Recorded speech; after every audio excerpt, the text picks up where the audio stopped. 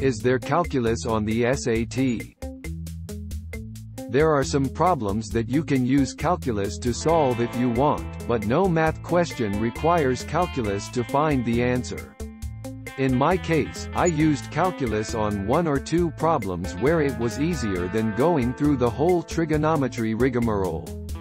The math SAT is essentially arithmetic, algebra, geometry.